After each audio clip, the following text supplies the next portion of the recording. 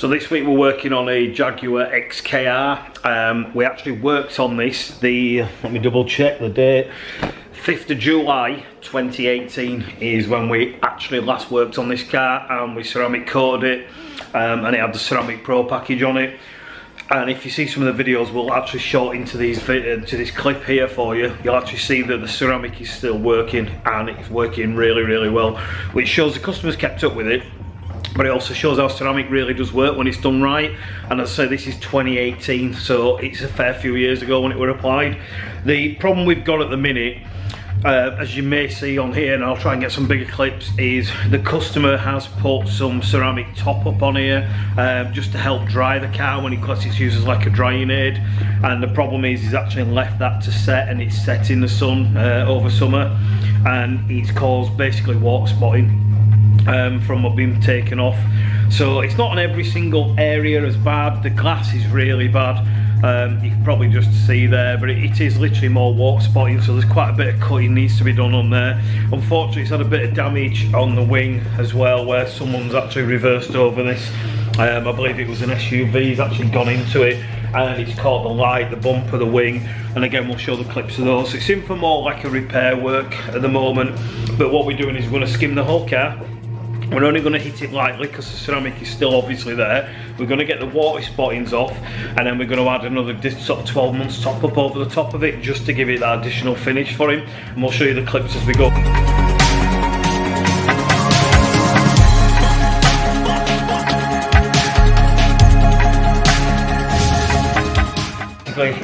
Had a top-up sealant sprayed on it. I don't know if it's RSC Pro or something similar um, or something completely different but from what I remember the customer sprayed like an SC Pro or a ceramic top-up on the car. It's baked on the car in the sun in summer and it's been on there for a long time and the problem we're having even we're using a heavy pad is this is not coming out of the actual paint it's really really bedded into the actual ceramic. Um, the biggest problem we've got now is to get this off and the only way we're safely going to get this off is actually using extremely heavy pads and heavy compound but the problem that's going to do is going to strip any ceramic that's still on there.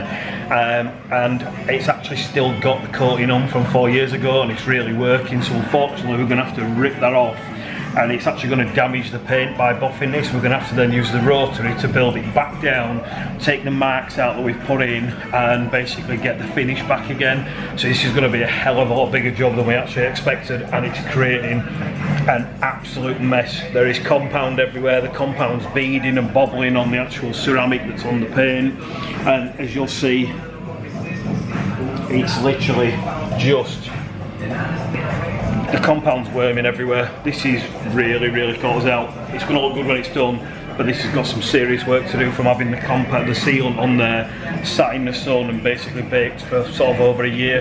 Um, we needed to get this off earlier, really, ideally. So this is basically what we mean when we're talking about the pads are worming. Basically, try and zoom in again, all these little bits here is basically compound and it's going dry and it's just spinning straight off the pad. But this is the mess we're having to make to basically get that residue um, and solution off the actual panels. So this is going to need quite a bit of refinement work afterwards because there's probably quite a bit of buffer trail actually in there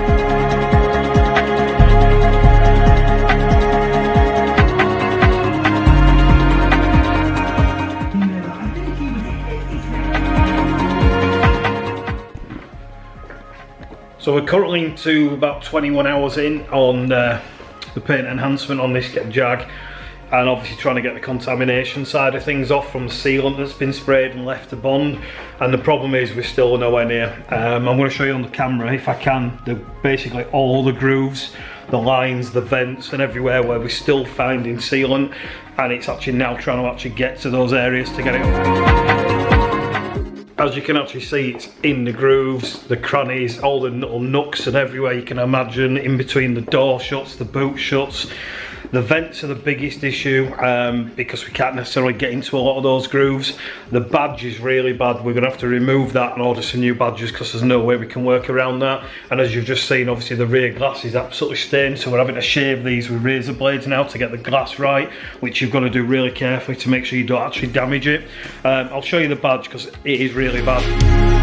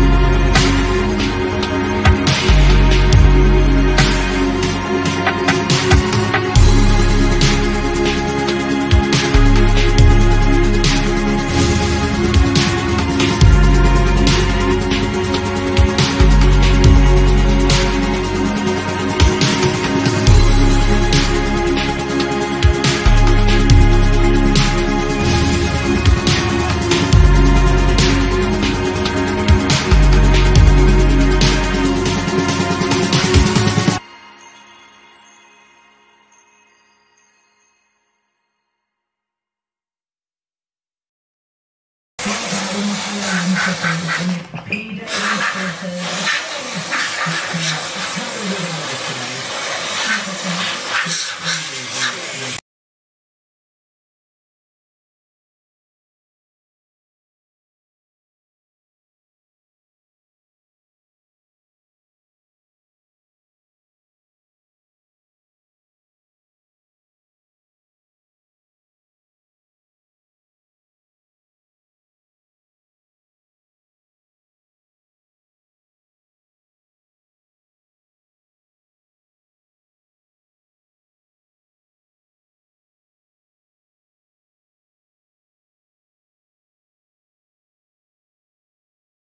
only a lap.